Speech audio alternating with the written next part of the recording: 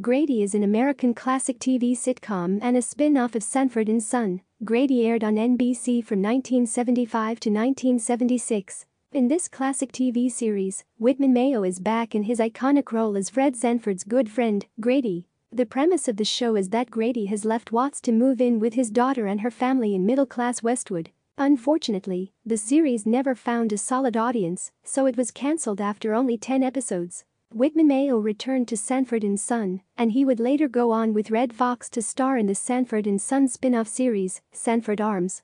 Grady starred Whitman Mayo, Carol Cole, Joe Morton, Haywood Nelson and Rosanne Katon.